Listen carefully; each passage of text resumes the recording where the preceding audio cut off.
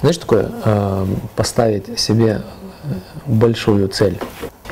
Это означает, что вот сейчас я вам это объясню на, на простом примере, да? То есть что это означает? Вам тогда проще будет. Итак, накладываем на этот рисунок моих 25 подъемов. То есть для меня 25 подъемов это уже не проблема. Согласны? Да? Для меня проблема будет какая? Ну там 27, 28, вот это проблема. 50. 50. Но не останавливаясь. Но с точки зрения физиологии это ну, сложно сделать. А природа не знает рывков. Ну, то есть нужно к этому идти постепенно. Ну, любые спортсмены знают, что такое набрать форму. Те, кто спортом занимался профессионально. Итак, смотрите, вот здесь 50 подъемов. И здесь 50 подъемов. Они одинаковые.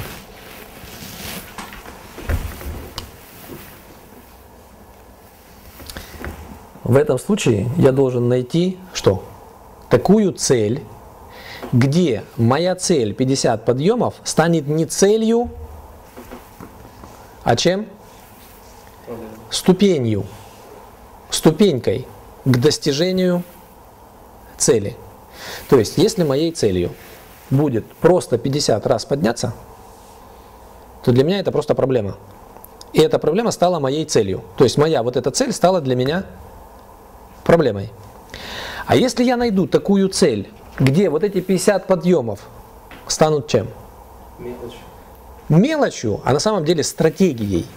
То есть из цели 50 подъемов станут стратегией, а моя цель сместится дальше. дальше, в том числе и по времени но на самом деле по объему. Еще раз. 50 здесь, 50 здесь. Но мне сейчас нужно найти инструмент. Суть инструмента заключается в следующем.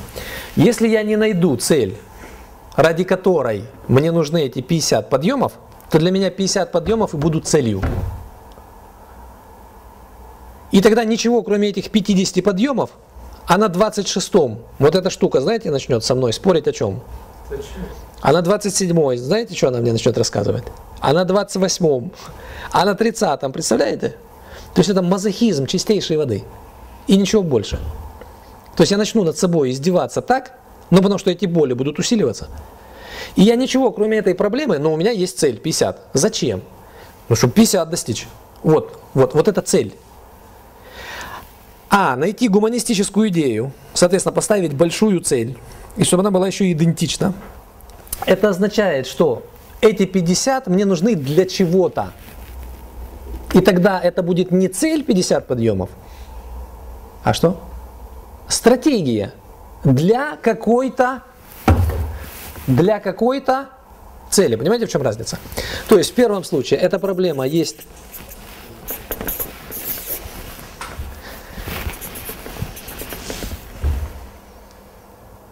проблема 50 подъемов – равна по силе самой цели. Это означает, ставим знак тождества математический. А в этом случае проблема 50 подъемов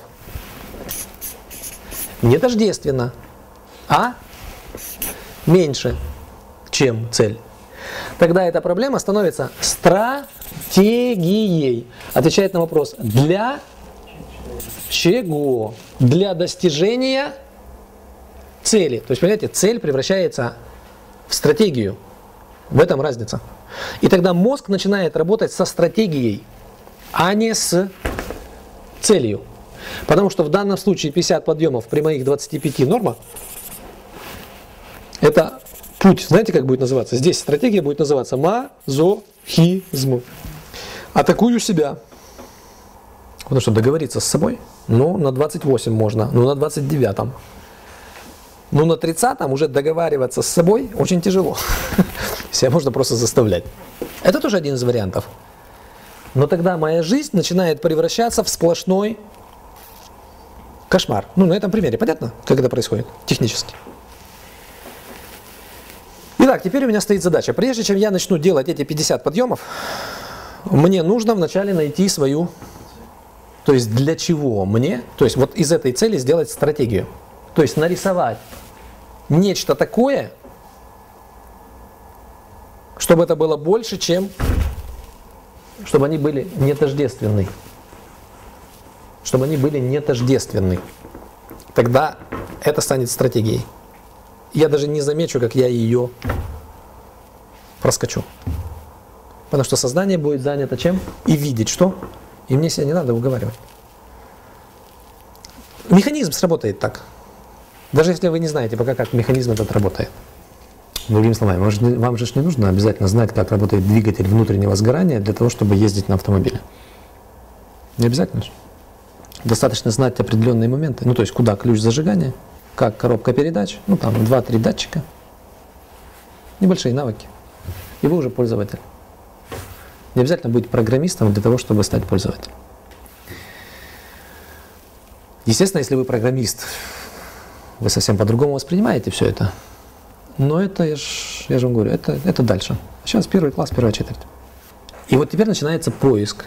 Вот теперь начинается ментальная деятельность. Вот это то, чем отличаются успешные люди. Вот.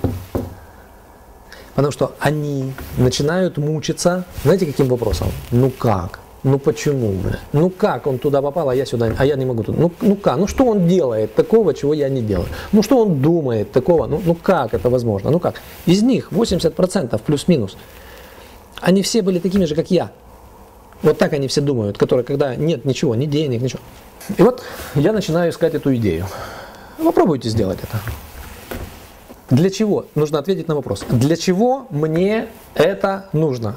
Конкретная цель 50. Это для меня проблема. Почему? Потому что 25 для меня не проблема. 25 для меня норма. А 50 для меня проблема.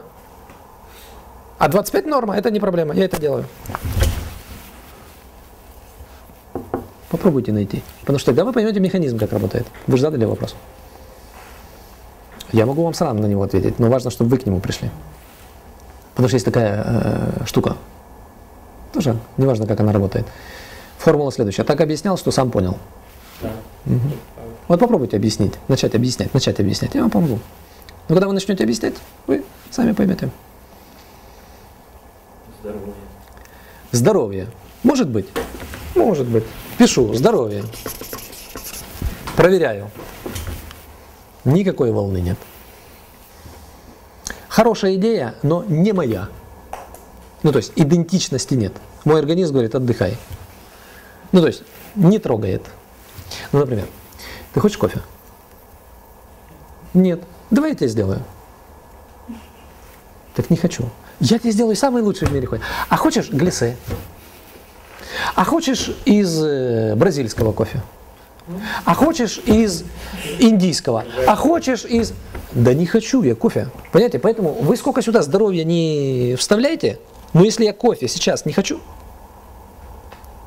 то это не моя сейчас, не мой напиток.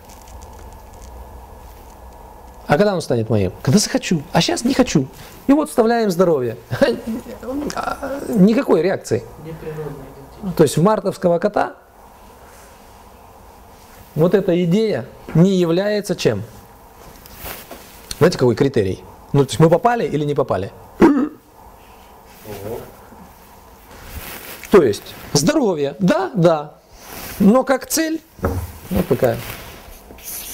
Вот тут напишу здоровье. Проблема больше, чем... Вот, вот куда я вошел. Если я скажу ради здоровья, то на 26-м я начну испытывать то же самое, что и вот здесь.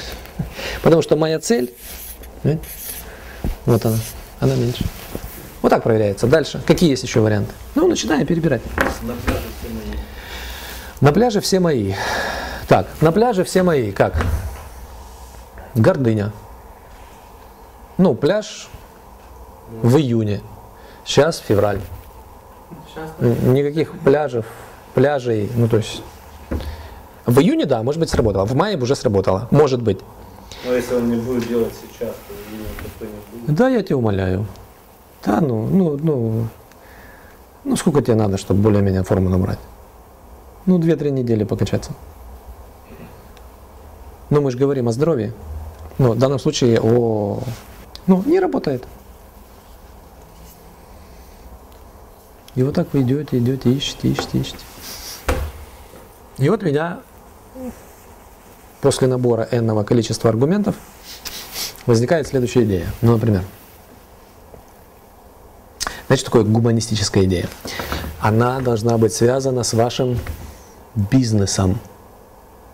Гуманистическая идея, она не связана, она не космическая. Она связана с вашим конкретным бизнесом, с продуктом, с тем видом деятельности, которым вы занимаетесь. Например, если я здесь напишу, для того, чтобы нарисовать картину или снять фильм, так я же не режиссер. Для того, чтобы снять фильм, так я не режиссер. Э, то есть эта идея, она никогда не станет моей, она не будет мне идентичной. Идентичной это равное. То есть я кто? Ну, я сейчас бизнесмен. В данном случае сейчас преподаватель.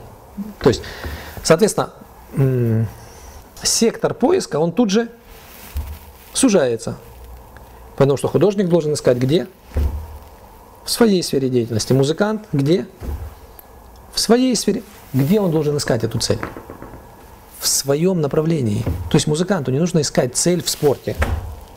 То есть даже если это спорт, то эту цель нужно привязать к большей, большей цели, но где? Если он музыкант. Если это спорт, то тогда где? В музыке. Вот здесь тогда начнет работать что? Ну, мне сейчас февраль, мне нужно ждать июня, а не работает. Потому что когда я выхожу на сцену, вот с таким животом, вот с таким заплывшим, вот с такими синяками под глазами, вот с такими и так далее, и так далее тогда, ну тогда понятно.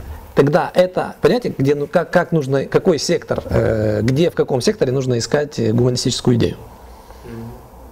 Понятно? Но если неправильно определить сектор. А? Если неправильно определить. Тогда ты не найдешь там этой идеи. А время тикает, а ты ее там не найдешь. Хорошо. Поэтому определяемся. Вот я сейчас какую функцию выполняю? Какую роль играю? Преподаватель. И достаточно часто ее играю. Последние там 10-12 лет своей жизни. Чуть ли не каждый день. Соответственно, мне где нужно искать? Сектор сузили? Где? В лесозаготовках? Нет. На пляже? Нет. В спорте? Нет. Я себя на олимпийского чемпиона не готовлю. Где? Образование. В образовании. Вот теперь начинаем искать.